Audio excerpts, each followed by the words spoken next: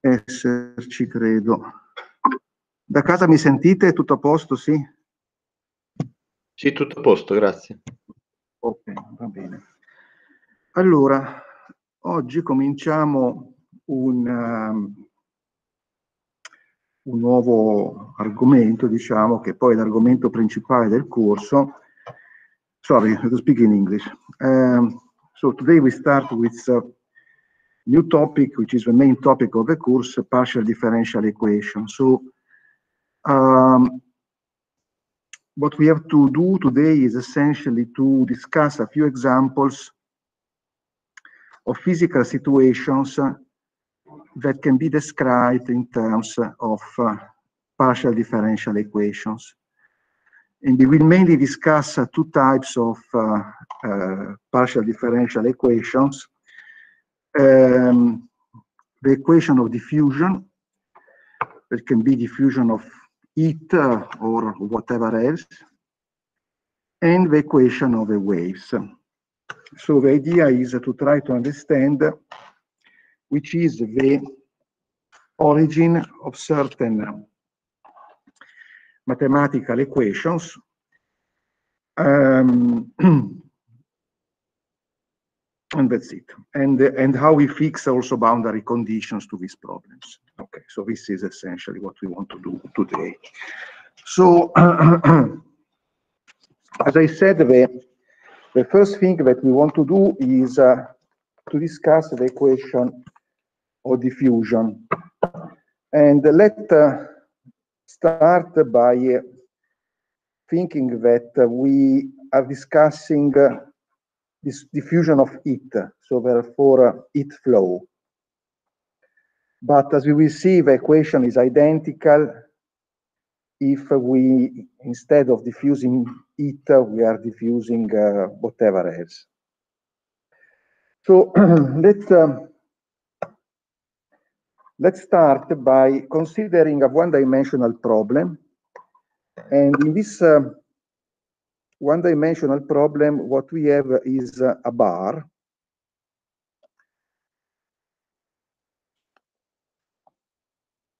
Uh, these pages of the book uh, uh, unfortunately contain a really, really, really large number of misprints. Uh, probably I, you have already the, the PDF files of, uh, of these same pages where I've corrected the misprints, but um, yeah, there are pages where there are uh, sometimes, I don't know, 10 misprints per page. So it's a little bit annoying. But, uh, okay. Excuse me, Professor. Yeah. See. We can yeah. see your presentation. You cannot see, oh. Yes, sorry. I'm sorry. Yeah, sorry, sorry, sorry, sorry, sorry. No problem, put, no problem. I forgot to put share screen. Ah, oh, always something. Present now your entire screen share. Okay, sorry, I really forgot. Okay. Can you see now? Is okay? Thank you, yes. Okay, thanks. Sorry, I really forgot.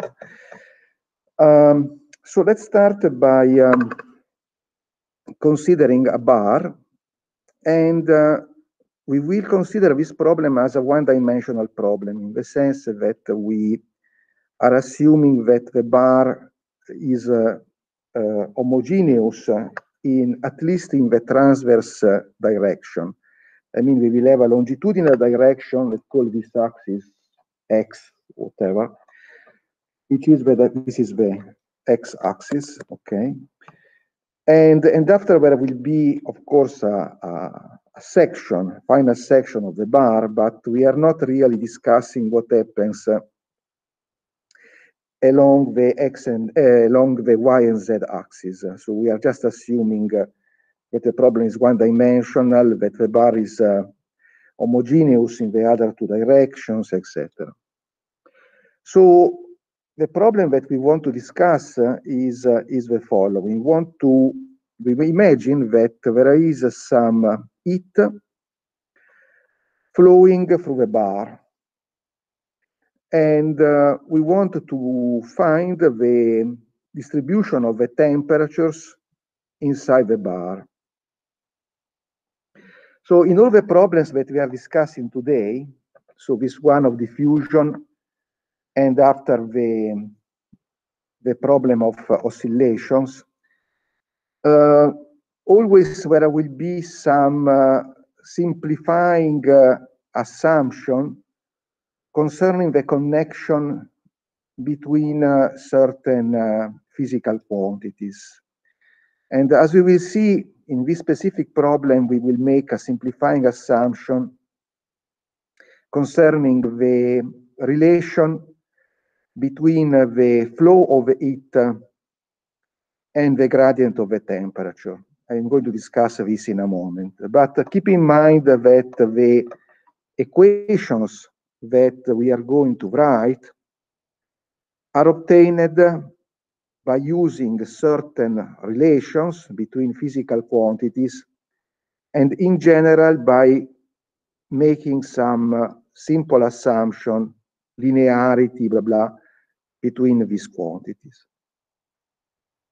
So as I said, the problem that we want to discuss is to determine the temperature inside this bar, assuming that there is a flow of heat along the bar. So what we do essentially is to consider a section of the bar. So let's say that this corresponds to a certain position x, and this corresponds to another position x plus delta x. Okay. And uh, the first question that we can ask ourselves is how can we describe the amount of heat that uh, is uh, present between x and x plus delta x and, and after the change of this amount of heat between x and x plus uh, delta x. So we write a very simple uh, equation of a form uh, in integral between x and x plus delta x. So we are integrating on this little volume. And uh, okay, there is uh, also the, the, the, there are also the transverse directions. So there is a, a section of this bar. Let's assume that uh, the section of this bar here corresponds to an area A. And this will play essentially no role. So I can always put this A in front of everything uh, if I want to, to get a volume. So A corresponds to the area of this uh, section and, uh, and after I deal just with the longitudinal direction, okay? So what I want to write is uh, the change in the amount of heat contained in this section of the bar between x and x plus delta x. And let's assume that initially the bar in this region is at some temperature T0, okay? So I have to introduce, first of all, a relation between uh, temperature and heat, which is the specific heat. So the specific heat uh, refers typically to uh, a certain amount of, uh, matter, certain mass. And uh, so I can write uh, this uh, change in the heat content in the following way. First of all, I can write rho, which is the density in this region, C, which is this uh, specific heat. So altogether, the product of uh, rho and C corresponds to the heat capacity in this region, okay? Because it's the product of uh, a density of mass times this uh, specific heat that refers to the unit of mass, okay? So this is the heat per unit volume, the product uh, rho times C.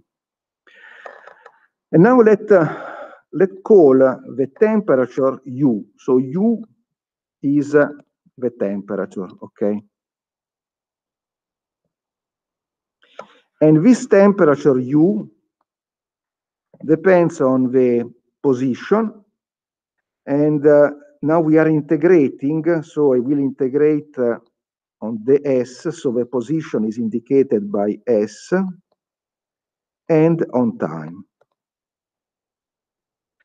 So if I if I stop here, if I close here the bracket,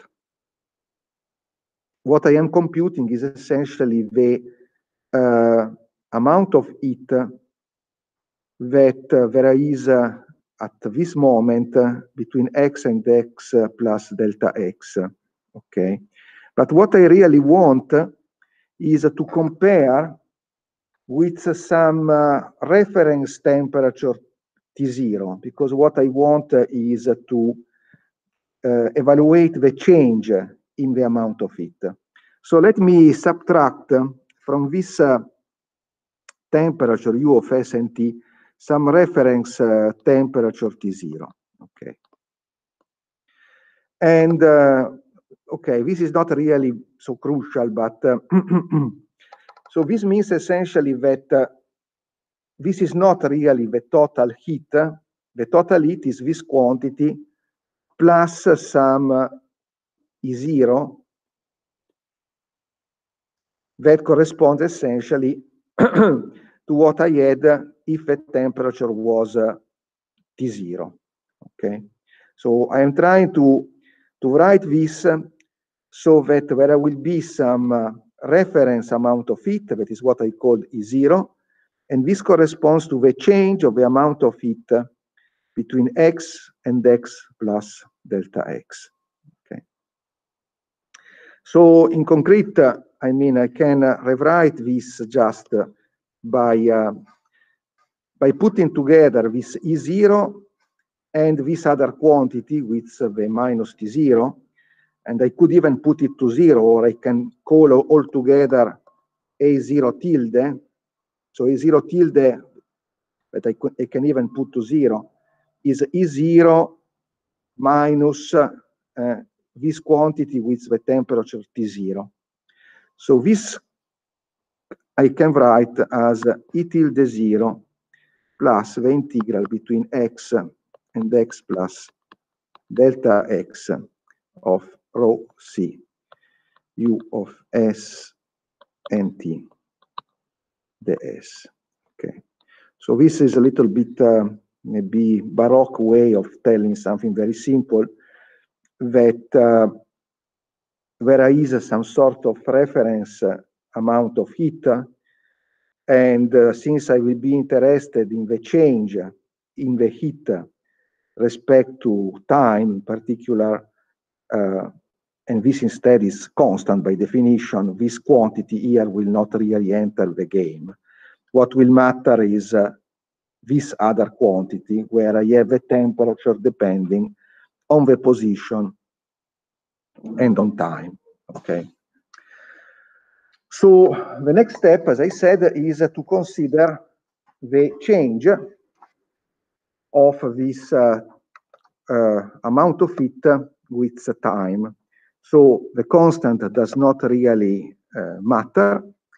So the change per unit time is the derivative respect to time of this integral between x and x plus delta x of rho c u of s t ds. Oh, notice that in principle, uh, the density and the specific heat, they can also depend uh, on the position and in principle even on time, if for instance the composition changes with time, okay? Uh, in many cases, we, for simplicity, we will assume them to be constant in, uh, in time and in space, but in principle, rho can depend on S and even on T, and C on S and even on T. Okay, so this is the change of in the amount of heat which is contained between change per unit time the amount of heat contained between x and x plus delta x. Of course, we can just uh, interchange the integral and the derivative, assuming normal conditions for the functions inside. So we can write this as a integral between x and x plus delta x of the derivative respect to time of this quantity here, rho c u of s t. This. Okay, so we have a, a, change in the heat content, and now the next question is uh, which is the source of the change in the heat content between x and x plus delta x. This change we can uh, we can imagine that is related to uh, maybe I can for a moment do this it is better for you. So we can imagine that this change is related to some uh, flux of the heat that will uh, enter this region from one side and exit the region from the other side. Okay. So for instance, let us assume that uh, there is a flux of heat like this. So it will enter this region from the left and exit from the right. This direction is purely conventional. It is clear that I can change it uh, if I like, but uh, it doesn't matter. Once I've chosen the certain specific direction, it just means that I've chosen the sign of the fluxes, but that's it.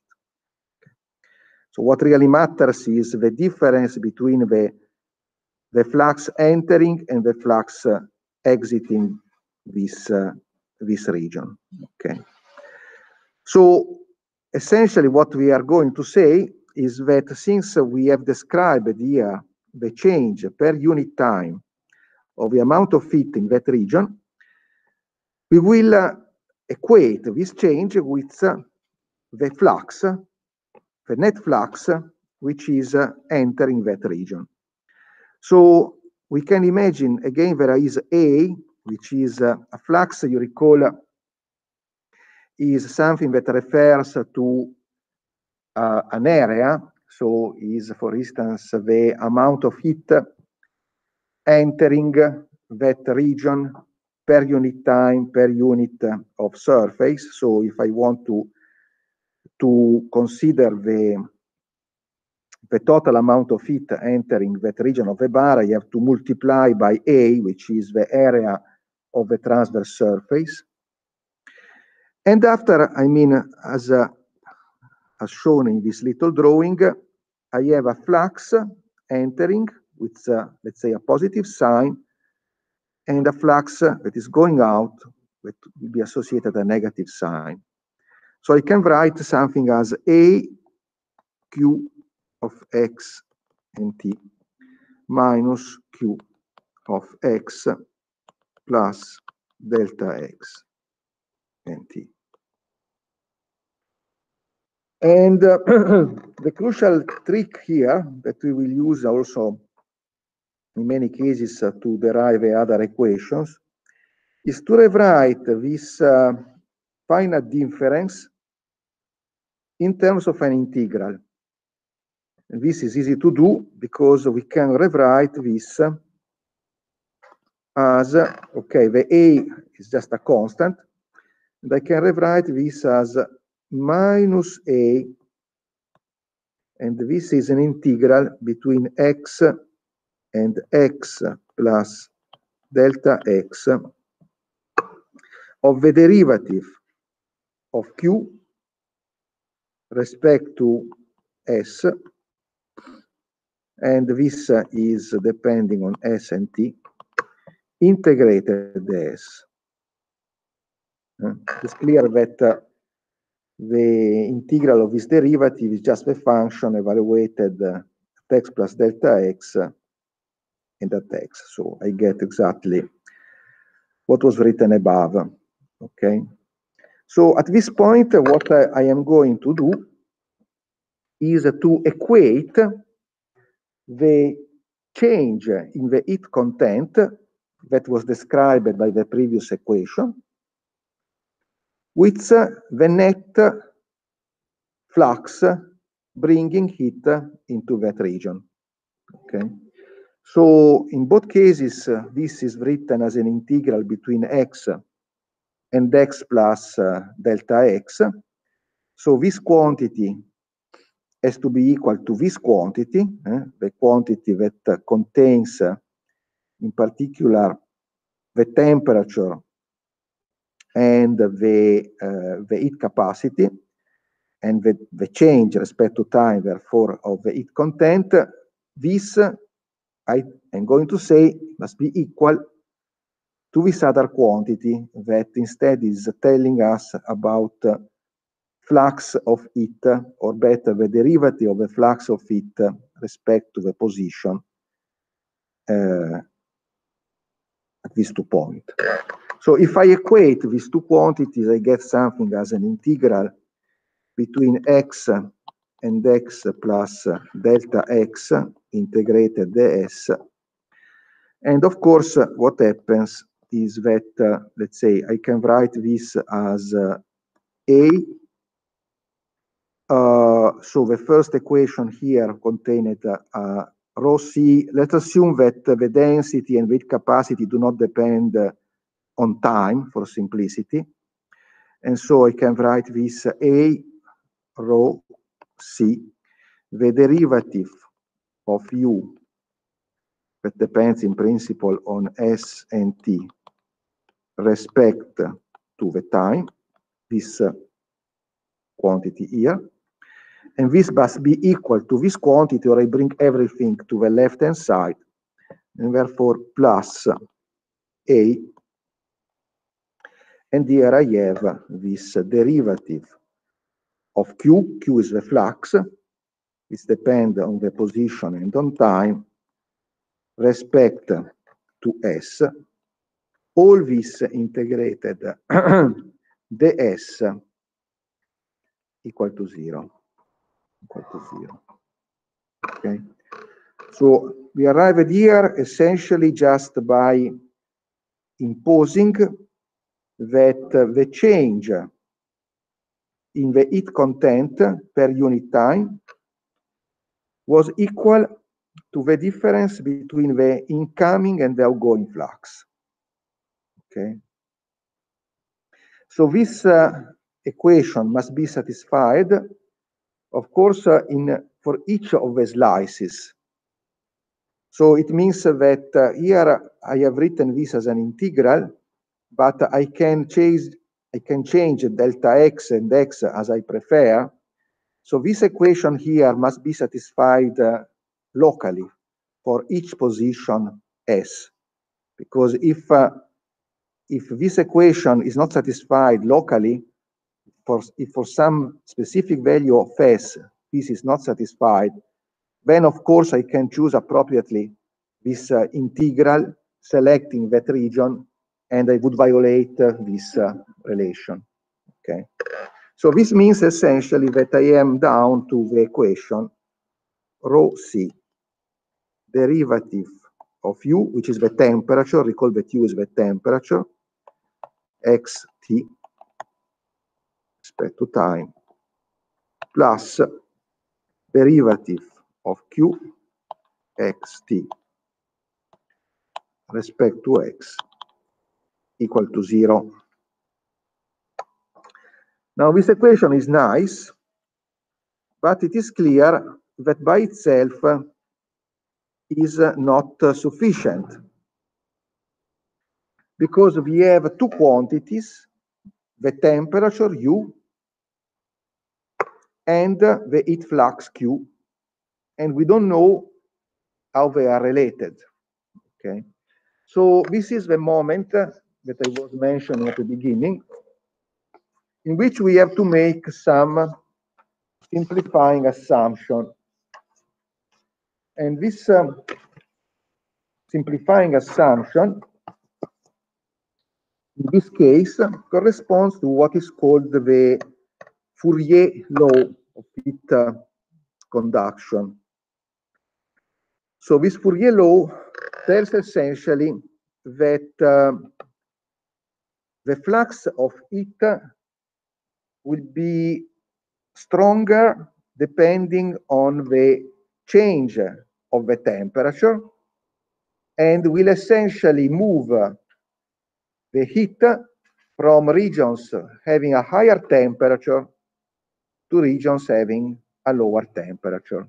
So in concrete, this uh, Fourier law tells that uh, the heat flux Q of x and t is proportional, and there is a constant of proportionality K, which is the thermal conductivity, is proportional to what?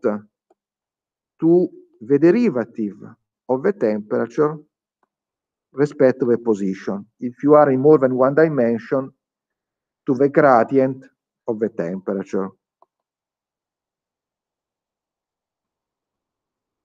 So this is this Fourier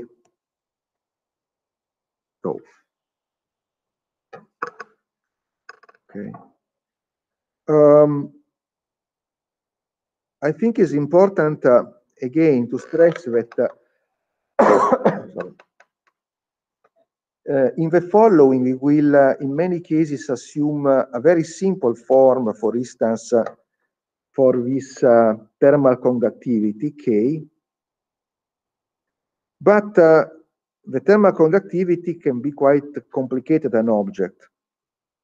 First of all, it can depend on the position.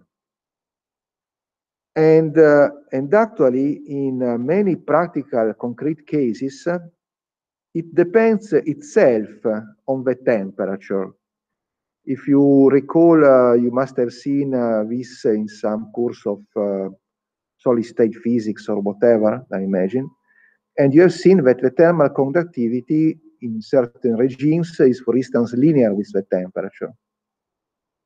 So, as you can imagine, suppose, for instance, that the thermal conductivity is linear with the temperature, so here, instead of a constant k, you get, let's say, or maybe just something, a constant time u.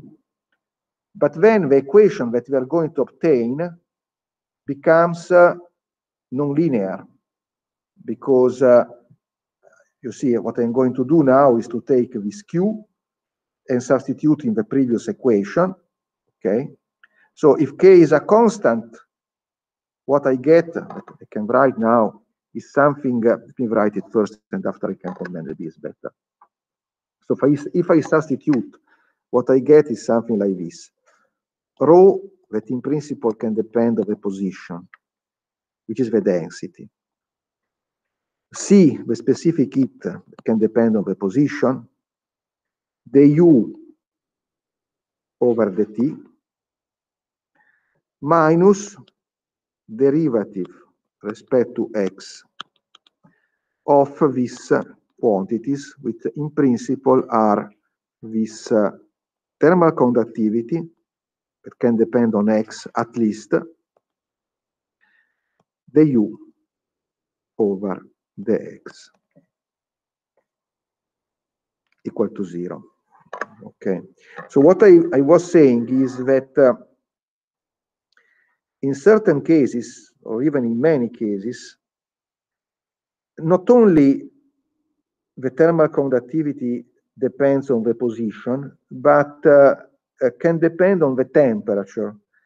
So it means that K, for instance, can be proportional to the temperature, and therefore, uh, in that case, as you see, the temperature, U, U is the temperature, would appear non-linearly in this term. You would get something as derivative respect to S of temperature, derivative of the temperature respect to X, etc., etc.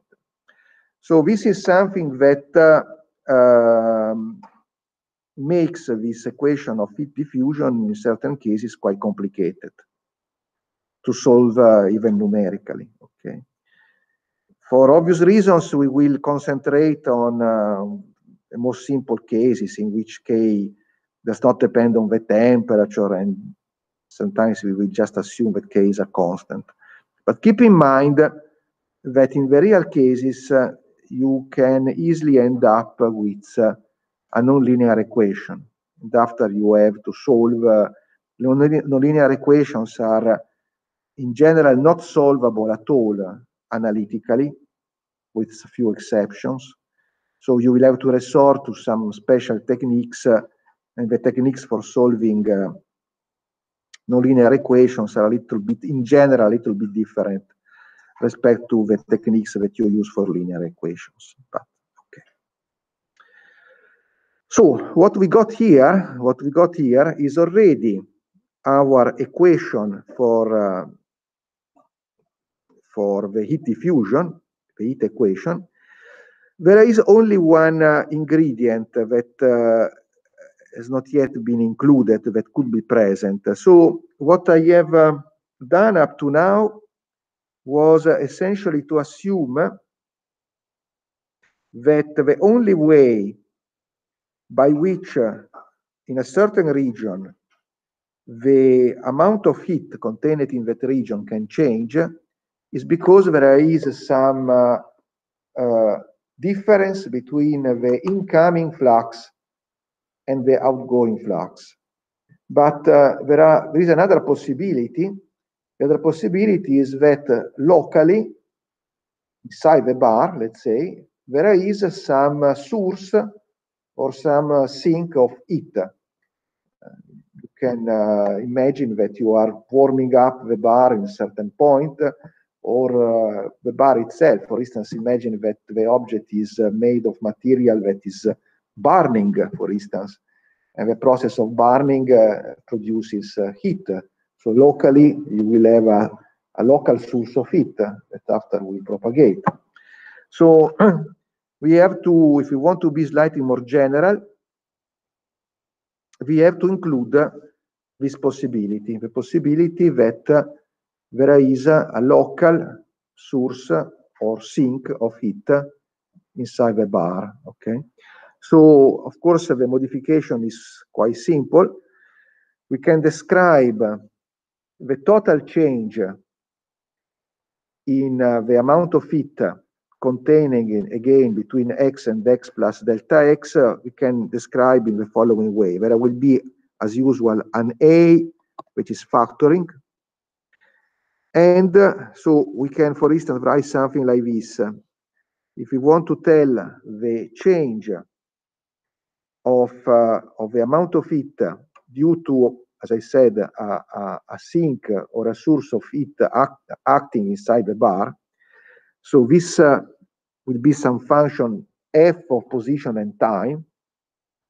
And uh, if it is active between the time t and the time t plus delta t, and I will integrate, of course, on, let's say, tau, and uh, I am considering what happens between x and x plus delta x, and I am integrating in the s, then I have some function f that depends on the position and on time tau, and I can claim that this is the change in the heat content due to the activity of this source of or sink of heat during this amount of time acting between uh, the position x and the position x plus delta x. But uh, as you recall, uh, we essentially made a double differentiation in the sense that we were considering the the rate of change of heat. We considered the derivative respect to time, so it means that uh, we don't have to integrate on, on time, or if we prefer, we can differentiate respect to time, so we don't have this integral. And this uh, second integral, the integral from x and x plus delta x, was exactly the type of integral that we had above. So I should essentially say that this quantity here, that was the balance between the change in the heat content and the flux of heat, okay, this is now is not zero, but is instead equal to the integral between x and x plus delta x of this a times this function f. So in conclusion, I mean, if I want to consider the possibility of having some uh, source of it or some sink of it, I modify this equation by writing something of the form, let's say rho c the u over dt minus derivative respect to x of k the u over the x. And this now is not equal to zero, but is equal to this function f that in principle depends, of course, on x, position and time. So this is the more general form of the heat equation that we are going to use in general this, this form here in, in our examples. Okay. Um, so let me summarize a moment how we arrived to this equation. Um, the crucial idea is to relate the change in the heat content between x and x plus delta x to some concrete mechanism that is providing the flux of heat. So either there is a net difference between the incoming flux and the outgoing flux, or there is some source or sink of heat. So the change in the heat content in a certain region must be equal to the sum of these two contributions. Okay. And uh, second point, uh, we have used the Fourier law. The Fourier law was uh, a relation between uh, the gradient of the temperature, so how the temperature changes with the position, and the flux of heat. Was telling that they are proportional, and of course there is a sign. The sign is telling that the heat is flowing from the regions having a higher temperature to the regions having a lower temperature. And that constant proportionality is this thermal conductivity K, and we discussed that in certain cases, this K not only can depend on the position, but even can be a, a function of the temperature. And so this equation can easily become a little bit more complicated than what uh, appears at the moment and also than what we are going to discuss in our uh, examples.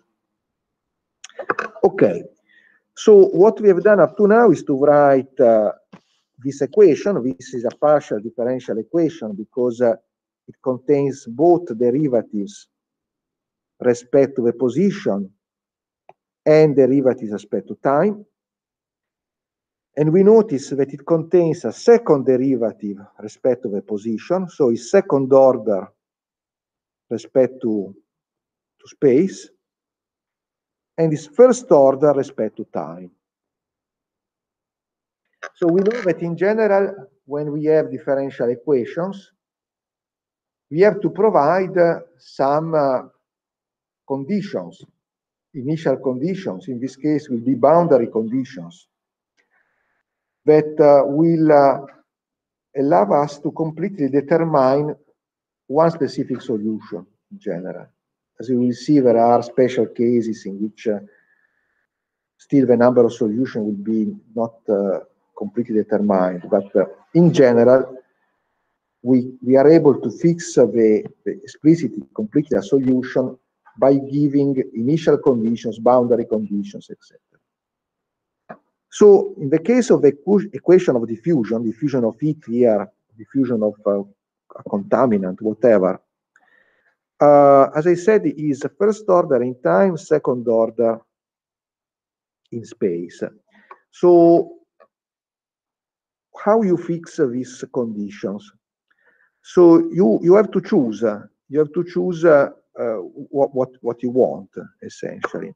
So if we go back to the original idea, we had a bar, and uh, so we have, for instance, to tell what happens at the two extremes of the bar. So two possibilities, but of course uh, there are after infinite, an infinite number, other number of other possibilities. The first possibility is that uh, they are thermally insulated in the sense that there is uh, no flux of it entering from this position here. They call this uh, zero, just to, and this is L, okay? So first possibility is to say the two extremes of the bar are thermally isolated. There is no flux of it entering from zero going up from L. So if, what, what, what does this mean in concrete uh, terms? Uh, we have uh, used this Fourier law. So the flux is proportional to the gradient. So it means uh, in concrete terms that if we want that there is no net uh, flux entering or going out, then we have to impose something as a derivative of u respect to x. Evaluated at x equal to 0 equal to 0 because this is the gradient of the temperature. At x equal to 0 one extreme of the bar if this is 0 because of the Fourier law also the flux of it is 0 the q is 0 and if we want the same condition on the other extreme, we can impose the u over the x evaluated at x equal to l equal to 0. Uh, so these two conditions, if I impose on both sides this uh, type of conditions, it means that both sides of the bar are thermally isolated. There is no heat entering from one side, going out from the other side, whatever. Okay. And these conditions, uh, as you see, are conditions on uh, the first derivative in space of the temperature. When I give uh, conditions like this, conditions relating uh, not the value of a function, not u, but uh, the derivative of u, these type of conditions are called Neumann conditions.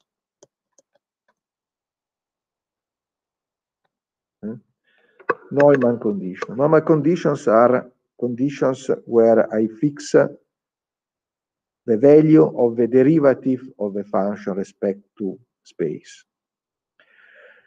Of course, there is another possibility that uh, is, is, very common. The other possibility is that instead you keep one or both of the extremes of the bar at a given fixed temperature. For instance, you, you, put one extreme of the bar uh, in contact with melting ice or in contact with boiling water or whatever you want. Okay, so you have a heat uh, reservoir, and in that way, of course, you will have a, a heat of flux entering and exiting, but you are keeping the two temperatures frozen. So for simplicity, let's assume that we put uh, those two temperatures to zero, but uh, they can be different from zero. We will see explicitly how to solve problems when the, the two conditions are not uh, temperature equal to zero, temperature equal to zero, but temperature equal to a final number and another final number. But now, just to start with, so let uh, for simplicity, let uh, let assume so uh, uh, just one point. Here I wrote x equal to 0, x equal to L, but uh, this corresponds for all times. This is important to, to tell. Eh? So for all times, for all times, we are writing this, okay? And similarly, these other conditions are for all times, for instance, I can write u of x equal to 0, and therefore t okay, I can, for instance, tell that this is zero or another final number. And similarly, u of x equal to L time equal to zero. Okay. So this corresponds to keeping the temperature constant. And these are called uh, Dirichlet conditions. Dirichlet. Dirichlet. So these Dirichlet conditions corresponds to a situation in which you are fixing the value of a function, of the two extremes, not the derivative of uh, the function, of the two extremes. And of course, it is possible that in the real cases you have a mixture of these two situations. You can have a situation in which uh, one extreme uh, is uh, insulated and the other is in contact with a, a source at, at, a given temperature. And even you can have mixed conditions. I mean, but these, so to say, are the two uh, simple situations that uh, complete Neumann conditions, complete Dirichlet conditions. Okay, so we have uh, we are discussing we are discussing two conditions, and uh, it does make sense because after all, I mean two conditions. I mean a condition at x equal to zero, a condition at x equal to L. It does make sense because after all, it is a, a second order derivative respect to space. Okay, so I know that uh, if this was an ordinary differential equation, in order to completely determine the solution, I should give two conditions. That is what I've done. Okay. So suppose that you don't have the time derivative, then you go back to an ordinary differential equation. You can imagine that time is just a sort of parameter, and you have imposed two conditions for a generic time t. Similarly, we have to discuss what happens concerning the derivative respect to time. So this is first order. So it means that we have to impose one condition, that typically is the value of a function, in this case of the temperature, at a given time, at the initial time, for instance. Okay. So together with these uh, two conditions, I mean either Neumann or Dirichlet or a mix of the two. So together with the conditions which uh, have to do with uh, the derivative respect to space, we have to give uh, one condition which has to do with the derivative respect to time. So typically you, you write something of a form u of x at some time t0 equal to psi of x. And this is for all the x between 0 and L. Psi of x is a given function. So at a given time t0, I am telling that the temperature is uh, given by this function for each of the points. Okay, so I know exactly the temperature at a certain time, that typically is the initial time. So the problem becomes, I tell you which was the temperature at the initial time. I tell you, for instance, uh, that uh, the two extreme of the bar are kept uh, at two different temperatures, but uh, fixed. And you tell me how the temperature inside the bar will evolve with time.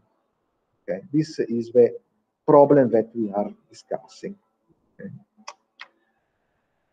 okay so this, so to say, corresponds to the complete set of uh, equations that we have to, to solve. I mean, uh, typically we have to discuss uh, this equation here, the differential equation, the partial differential equation, and together with it, we will provide some boundary conditions, Neumann, Dirichlet, mixed, whatever, and some initial condition, initial value of the of a function. Okay, so this is what we we will have to study in the following. Uh, maybe, maybe let me mention rapidly one thing that uh, we are going to discuss uh, also in the following. So we have concentrated for the moment uh, and we will essentially remain at that level with uh, a problem which was one dimensional, okay, one dimensional in space. Of course, uh, it is possible to generalize this scheme to cases in which you have two or three dimensions in space. Okay. Generalization conceptually is not very difficult, but practically after there are subtleties. Um, so in this specific case, in the case in which we have only one space uh, dimension, what happens? Uh, what happens if uh, we are interested in finding a time independent solution?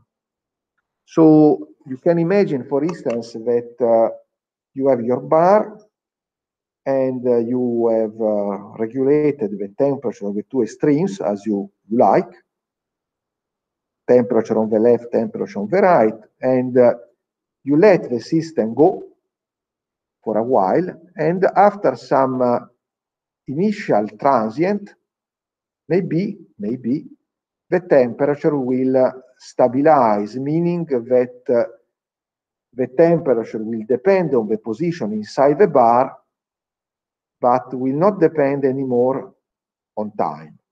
Okay, there are a lot of situations in which this uh, can happen. So it means essentially what?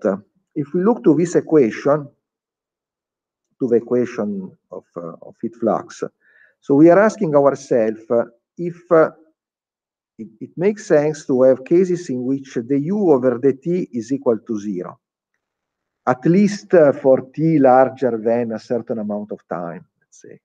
Okay.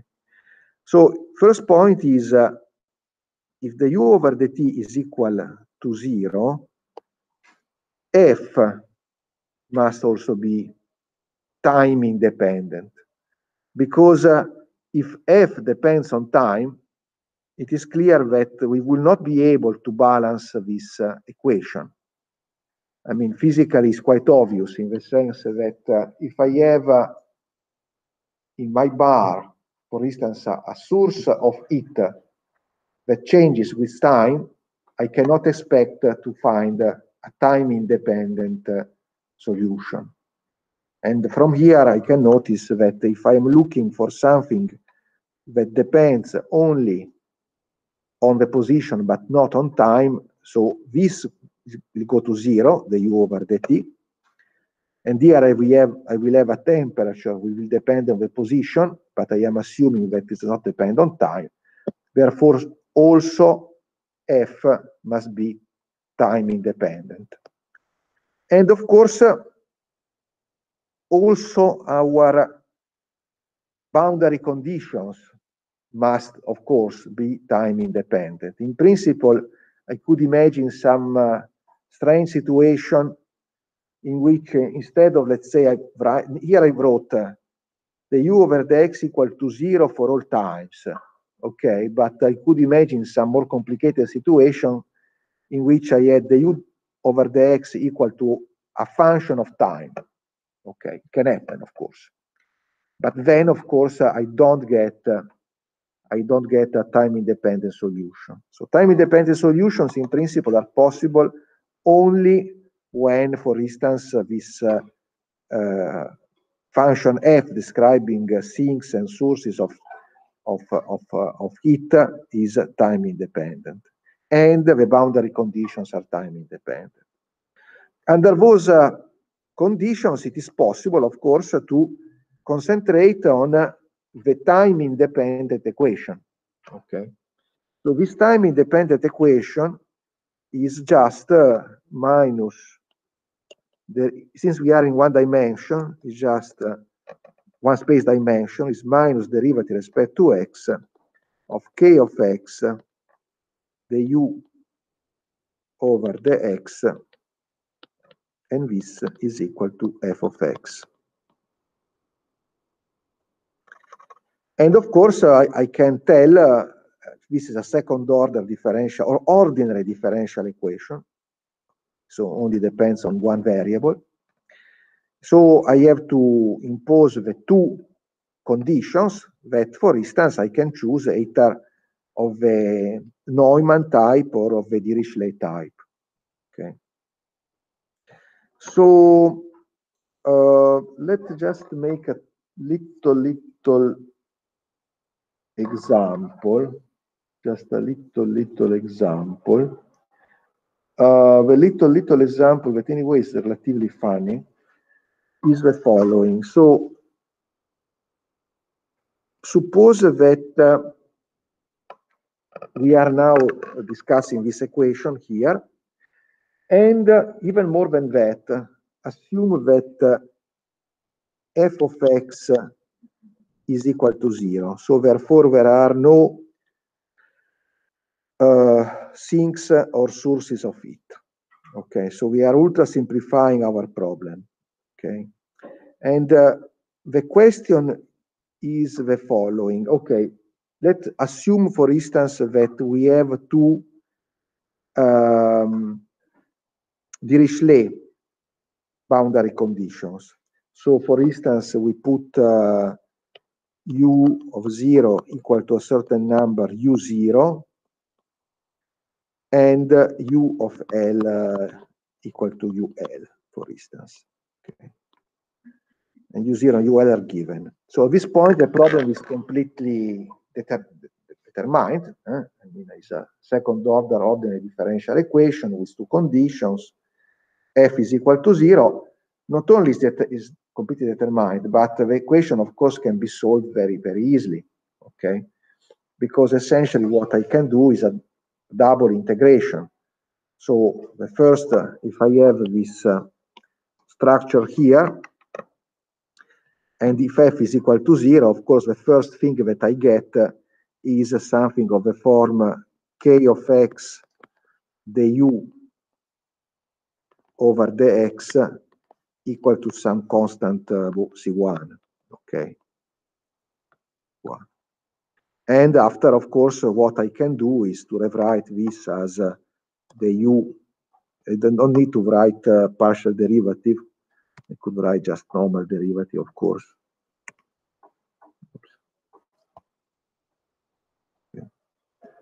I can just write, okay, the u over the x is equal to this integration constant c1 over k of x and therefore I will write that uh, u of x is equal to u0, okay, plus some integral from uh, 0 to x in the s of c1 uh, over k of s integrated on on the s okay? And uh, U0 is, uh, is what uh, I know, is written here, and C1 I will determine in order to get uh, the temperature at L equal to UL.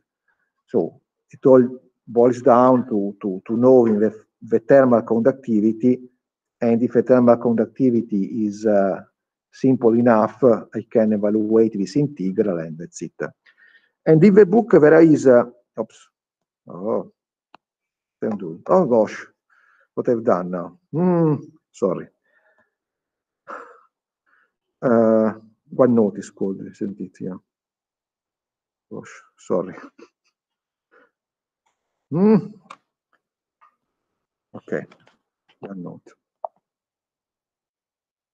And uh, I think it's this one, isn't it? Sorry, I don't know why I, I managed to close it. Uh, okay, so uh, what I was saying is, okay, you can easily integrate. And uh, um,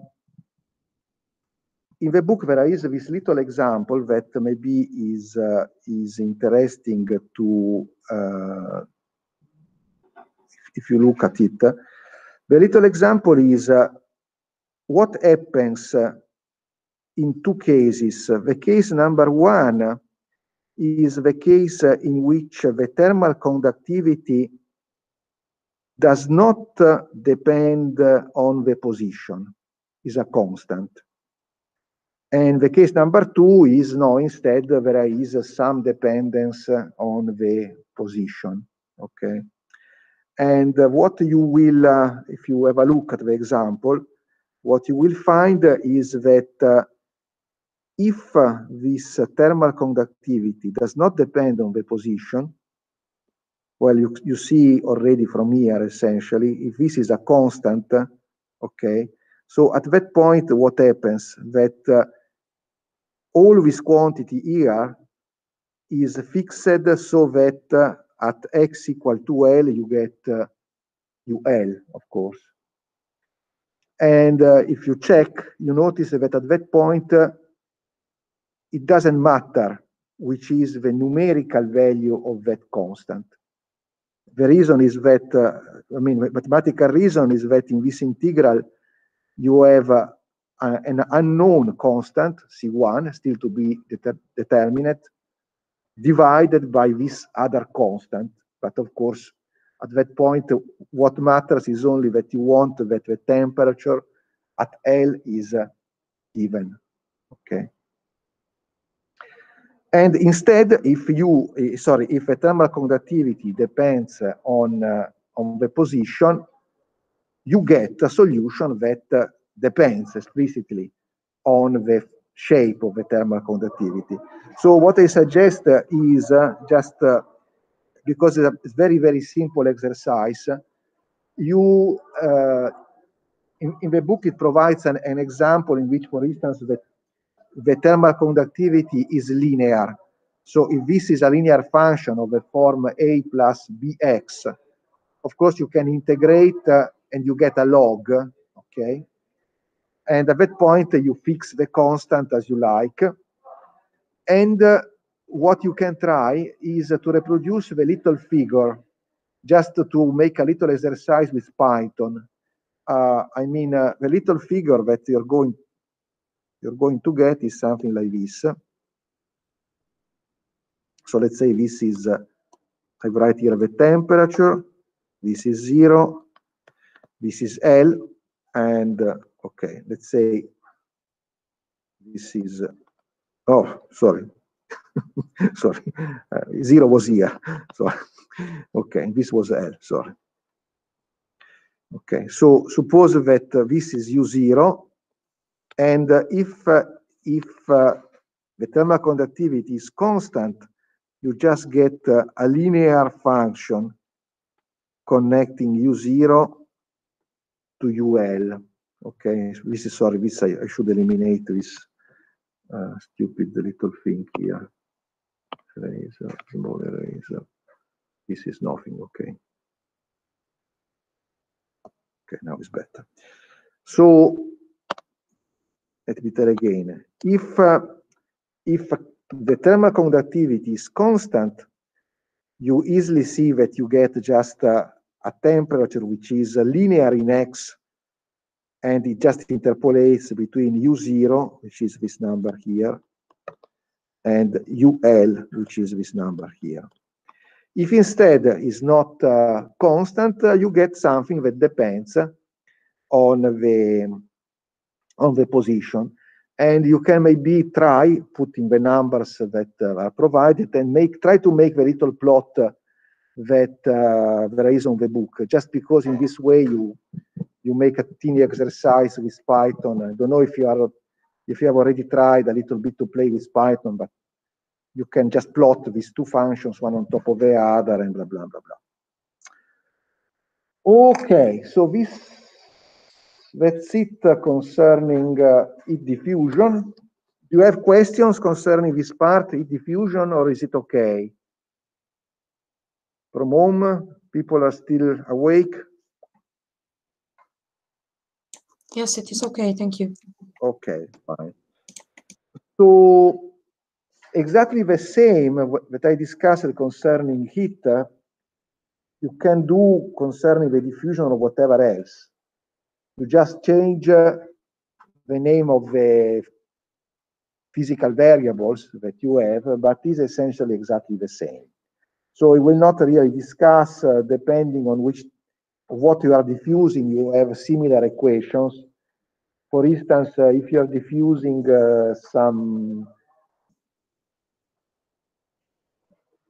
chemical thing, you have uh, um, instead of having the instead of having the the temperature, you you have a concentration of that chemical, and there is uh, an equation which is similar to the Fourier law, which is called the Fick law. This Fick law essentially tells you tells you that there is a proportionality between the gradient of a concentration and the flux of this uh, chemical uh, thing that is diffusing. It's similar to the idea that uh, in the case of Fourier, you have a heat moving from the hotter to the cooler areas. And here you have diffusion of this object, whatever it is, from the regions where the concentration is higher to the regions where the concentration is lower. Okay. So what I want to say is just uh, exactly the same equation that we discussed uh, in the case of heat can be used for other types of diffusion, just changing the names and reinterpreting the, the, the meaning of the parameters that we had, okay? So there is a, this type of equation is really extremely, extremely um, general and uh, okay.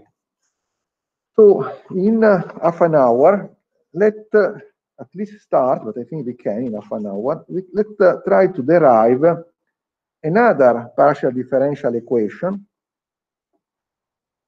which is the differential equation of uh, vibrations. And in particular, we will start by discussing uh, um, one example that is called this hanging bar, hanging bar. Okay. So this hanging bar is the following problem. Suppose that uh, you are hanging uh, an elastic bar made, let's say, of rubber or whatever, to the ceiling. Okay. So this is the ceiling, and uh, let's say this is your bar. Again, as before, we are uh, we are considering essentially a problem which will be one-dimensional. But again, the generalization to more than one dimension will be relatively simple. So let us assume that, uh, again, there is an axis that is pointing in this direction, longitudinal axis, and we will essentially ignore what happens uh, in the transverse directions.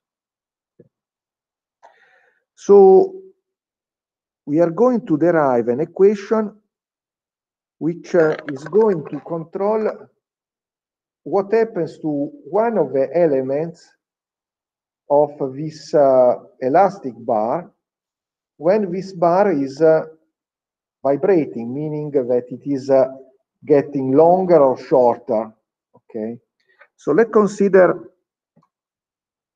uh, as we before, two sections of this bar, and this is position x, and this is position x plus delta x. Okay. So what we are uh, thinking is that, as I said, that the bar is elastic. So what does it mean that the bar is elastic? You recall the first year, you studied that the Hooke law, the law regulating elastic forces. And uh, therefore, you, you know that uh, essentially the idea is that the force is uh, proportional to the deformation.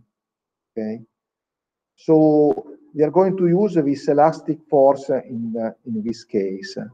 So there will be an initial uh, position of the bar, let's say, and uh, we are going to consider what happens when we are stretching the bar.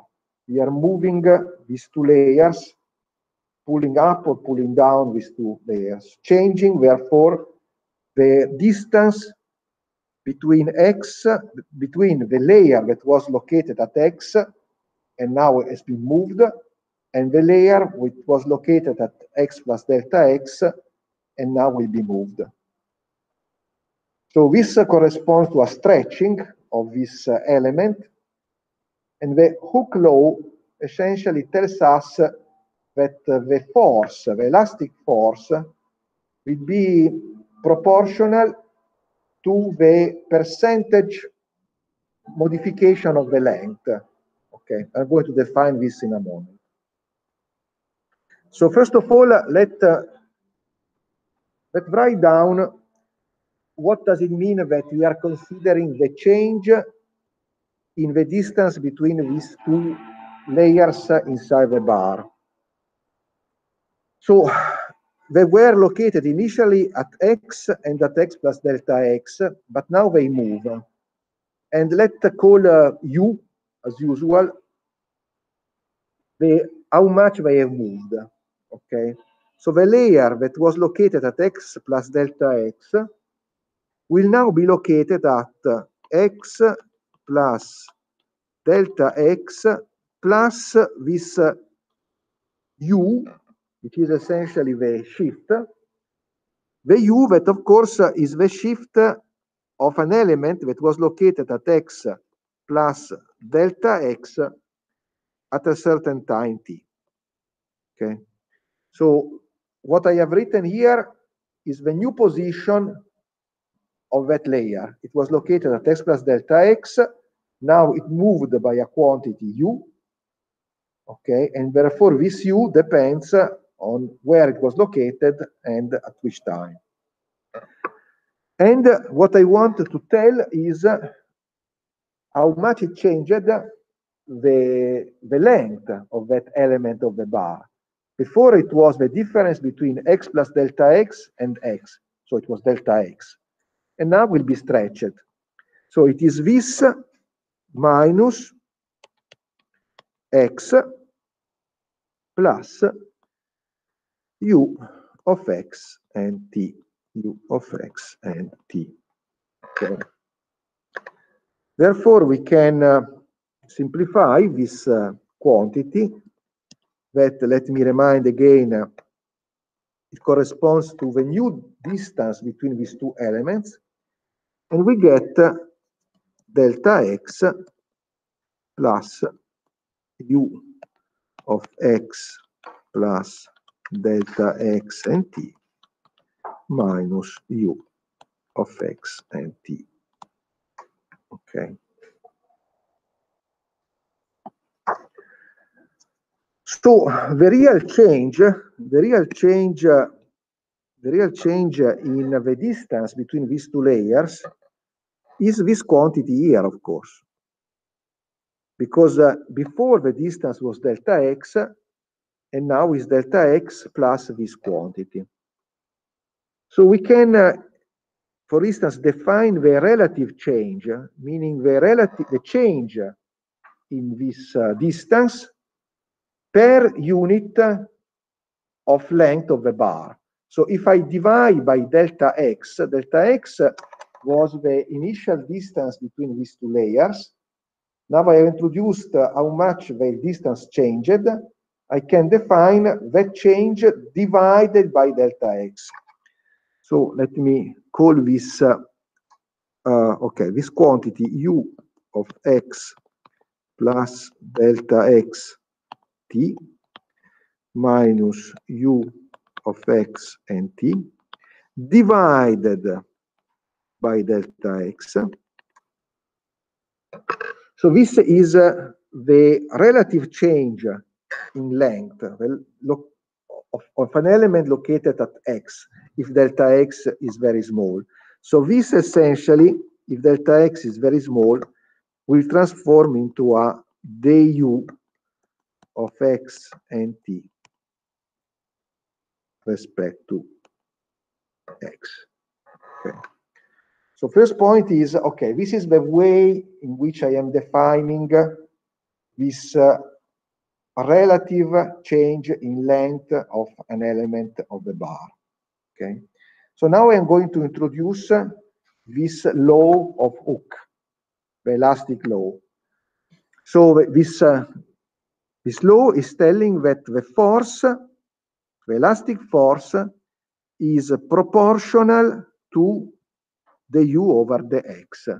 Okay, the elastic force is proportional to this uh, relative change in the uh, length of the bar.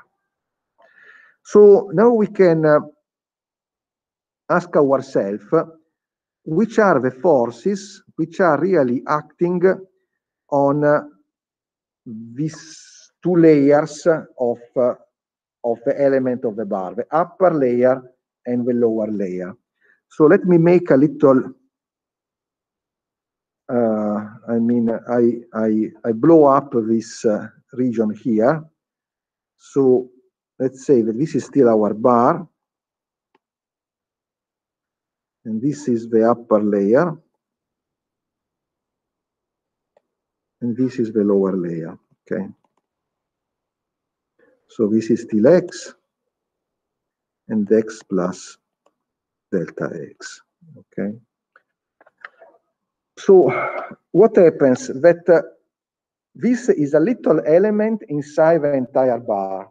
The entire bar is uh, vibrating or whatever, and I ask myself uh, which forces are acting on the upper and on the lower layer. And therefore, the force uh, due to the rest of the bar that is acting on X, let's say it is a force that is directed in this direction, T, and the force which is acting on the lower layer of the bar is another, this of course depends on X and T, and this is another force, tension, which is acting at X plus delta X and T. So let's think a moment if what I'm doing does make sense. I am trying to understand the change in length of the element of the bar. So it is clear that what matters, you recall, is very similar to what we did before concerning the two fluxes, the incoming flux, the outgoing flux. So if they are equal, nothing is, is changing concerning the heat content in that element. Now here I compare these two forces, the force due to the rest of the bar, the upper side, and the force of the, of the rest of the bar in the lower side, and I compare one with the other. One is pulling up and the, and the other is pulling, pulling down, essentially. So what really matters is the difference between these two forces, okay? so let me, let me first of all introduce this uh, law of proportionality. So I am telling that, uh, let's say, T of uh, X and T will be equal to some uh, K, which is uh, this proportionality. In principle, K can depend on X, but uh, in many cases, after we will assume it is a constant, times the U over the X. Okay. So this means in concrete that the net force acting on this little element is the difference between these two forces. One is pulling up, the other is pulling down. The net force is the difference. So let me write this net force. So the x-axis was directed like this, okay. Let me write, and uh, okay, instead of a force, uh, since I, I have a, a transverse size, let me divide the force by the area of the transverse section. So it will be a force per unit of uh, surface of the transverse section, okay? So if I do that, uh, uh, if I consider what happens on all the transverse section, I have to multiply by the by A. Okay, not not, not particularly nothing. So the net force will be okay. This A that at the end will play no role as usual, and there will be K evaluated at x plus delta x, the u over the x, and this depends again on x plus delta x and time, minus k of x, and is the u of x and time respect to x. Okay. So this is, uh, so to say, the net force. I have a force applied in the upper part corresponds to the fact that the rest of the bar is trying to pull because it's elastic towards, and the other one is pulling down. So I combine the two forces. So this is the net force, and I use Newton law. I tell that uh, the net force will be proportional to the acceleration of that element of the bar. Okay. So, okay, uh, let me, first of all, let me, so before doing that, let me rewrite this, which is a final difference. Let me rewrite it as usual as an integral. So I can write this as a, and this is an integral between x and x plus delta x and therefore I can write this as a derivative respect to s, oops, respect to s of k of s, the u of s and t over ds integrated ds. Okay, so I just have written uh, this finite difference as an integral of the gradient uh, because after, as usual, I, I, I, will have everywhere this integral between x and x plus delta x and I can factor. Okay. So let's go back to what I was saying. So what I was saying is that we are equating essentially this net force to the mass acceleration of that element. Okay. So we can do something like this let assume let assume let assume uh, okay sorry there is still another ingredient that i have to introduce sorry this uh, is the elastic force but in principle there can be some external force so what i've written here is just what happens if i have an elastic bar okay but uh, in principle i can have uh, i don't know the force of gravity or i can pull the the one side of the of the bar. Okay, so on top of that, uh, I have to act similarly to what we were doing before when we were considering the sources or sinks of of kit. I have to add the external force. So the total force, I will write uh, in the following way. It will be, okay, what is written, let me just rewrite. This will become A and I will have again the integral between x and x plus delta x of these two terms that will be essentially derivative respect to s of k of s, the u of s and t respect to s, and this was the previous term, and now I add this f of S and T. All these integrated S. So what I have done is just to assume that there could be some external force that is not the elastic force and it can depend on the position and on time in principle. So this now is the total force. Okay. So this total force, as I said, now we are going to equate using Newton law to max uh, to mass times acceleration. So we write that this becomes equal to what? To, again, there is an a that I can factor, and this the integral between x and x plus delta x. And let me introduce the density, rho, rho of s. And here I am writing the acceleration, the acceleration of the position of that little element. So the point is that uh, I am only interested uh, in derivatives respect to time. So whatever there was constant, I don't care. So it's just u. I don't need to write u plus the initial position or whatever, because I am considering the acceleration. So I, I am eliminating whatever constant there was in the position. So I have just the second derivative of u depends on position and time respect to time. And this is again integrated on the S. Okay.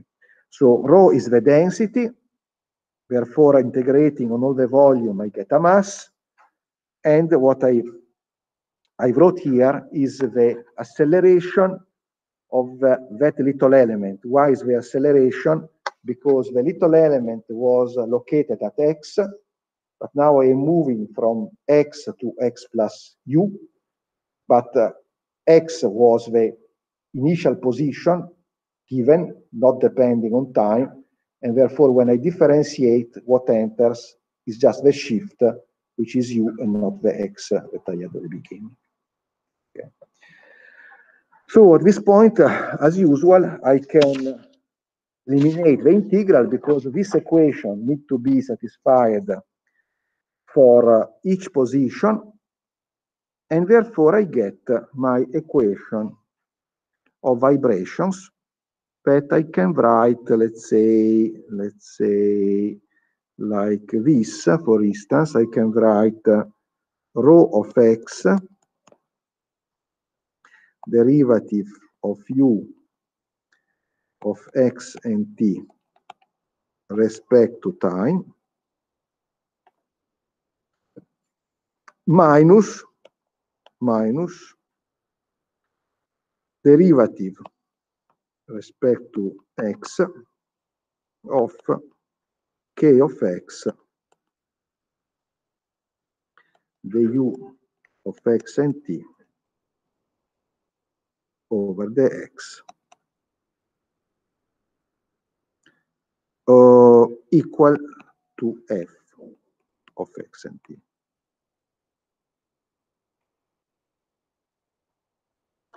So I have essentially separated uh, on one side there is F, which is the external force.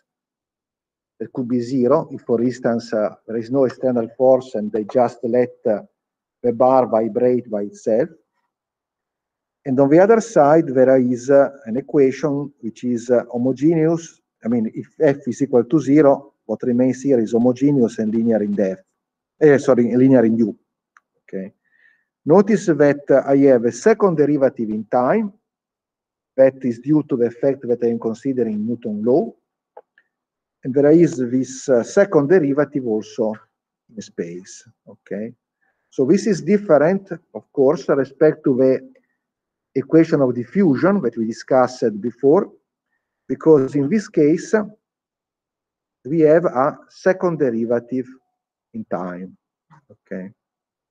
Notice that uh, if instead uh, we were considering uh, situations in which we are looking for a time-independent solution, so if u was time-independent, so the derivative respect to time was zero, notice that this equation that remains is identical to the equation of diffusion that we saw a moment ago. So funny enough, the time-independent parts of the equation of diffusion and of the equation of vibration are the same. And uh, essentially they correspond to something that is the Poisson equation. Okay, in one dimension that we will limit ourselves to one dimension is very trivial but uh, if you are in more than one dimension, you can imagine that where you read the derivative, you have to read gradient. And so the solution of that equation is by itself uh, relatively complicated. Okay. Final comments before stopping. Also in this case, of course, we have to give uh, boundary conditions, initial conditions. And uh, exactly as we did in the previous case, we can choose, for instance, if we want the Dirichlet boundary conditions or Neumann boundary conditions. Let me remind you that uh, the Dirichlet boundary conditions corresponds to giving uh, the value of the function at the two extremes. So in this case, the function u represents uh, the position of the bar, or better, the displacement, okay? And so, for instance, uh, if instead of having the bar just hanging from the ceiling, imagine that you are also keeping the other extreme at a fixed position, then these boundary conditions would correspond to giving u equal to zero, both at zero and at L. So one possibility, for instance, let's say the Dirichlet boundary conditions, the Dirichlet would correspond exactly as before at telling that u of 0, t, is equal to 0, and u of L and t is equal to 0 for all times. And this obviously in this case corresponds to keeping the position of the bar completely frozen. I mean, the, the upper the position, I mean, the position of the upper part of the bar and of the lower part of the bar completely frozen. For the Neumann boundary conditions, that if they are homogeneous boundary conditions, as you recall, in, in, okay, they, they, they have to do with the u over the x and not, uh, so the derivative and not the, the function itself. The homogeneous bound, Neumann boundary condition that would correspond to, to writing 0 t equal to 0 and the u over the x lt equal to 0. But what, what do they represent, Neumann boundary conditions? recall that we are using the Hooke law. So the Hooke law, the elastic law here, is telling that there is a proportionality between the u over the x and the elastic force. Okay. So what does it mean? It means in concrete that uh, if I, for instance, I want to describe a situation in which on one of the extremes uh, there is no external force. And I don't want uh, that uh, I, the system is just uh, moving up or moving down, but uh, I want that it can reach some sort of equilibrium. Then if there is no external force, it means that the u over the x in that point must also be equal to zero, because instead uh, I would not be able to balance two forces. I mean, uh, if I have only the elastic force on one extreme and nothing balancing it, uh, what happens, for instance, is that the size of the bar just shrinked, okay, because it's only pulled up against the ceiling. There is nothing opposing it. So if I want that there is some sort of equilibrium, it means essentially that uh, the u over the x at that extreme must be also be put uh, equal to zero if there is no external force. If there is an external force, if for instance there is a force of gravity, then I have to write that the two forces are exactly balancing. I have to write that uh, the force of gravity, which is in this specific case pointing downward, has to be exactly balanced by the elastic force that is pointing upward. So in that case, I would not write the u over the x, for instance, at L equal to zero, but instead equal to some constant that corresponds to the fact that I want to arrive to an equilibrium between the force of gravity pushing down and the elastic force pulling up. Okay, so in conclusion, in this case, we can have, again, Dirichlet and Neumann boundary conditions, but the physical interpretation is, okay, Dirichlet is very obvious, corresponds to keeping fixed the two extremes of the bar. Neumann have to do instead with, uh, if I want to reach an equilibrium, I ask myself, is there an external force?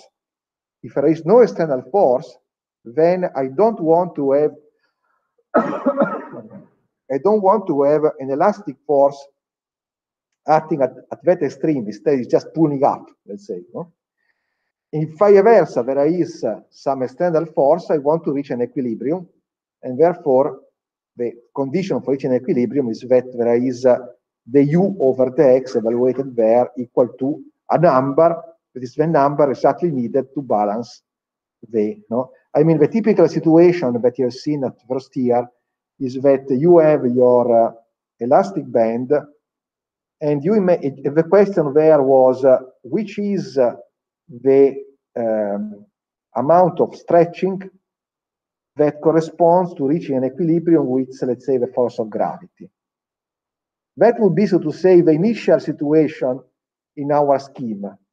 In our scheme, we start, let's say, from that situation in which we are at equilibrium, and then we are, for instance, perturbing this object so that it starts vibrating. Okay? So the initial stretching corresponds to the situation in which uh, the elastic force exactly balance the, the force of gravity. And that we impose by this Neumann boundary condition, where the u over the x is proportional to the elastic force, and we have to fix that so that it exactly compensates the force of gravity. This is our boundary condition. What we do now is not just to be happy with knowing how much initially the bar has been stretched, but what happens if now we let the bar vibrate along, know, uh, um, around this, uh, this uh, equilibrium position? Okay, and of course the other difference respect to the previous equation is that it's a second order differential equation in time, and therefore we will have to provide two conditions, some initial value and the value of the object, the derivative of the value of u at the beginning. Anyway, I think I have to stop because instead Cristiano will arrive and will kill me. So I, anyway, tomorrow we will uh, uh, maybe finish better these little things. You have questions? It's clear enough? Okay, sorry for the mess at the beginning. I have to recall that uh, in case I have to restart my laptop. Okay, so see you tomorrow. Ciao. Arrivederci. Ciao, ciao. Arrivederci, prof. Ciao. Allora, how to do this now? Okay, here, stop sharing. And here, stop recording.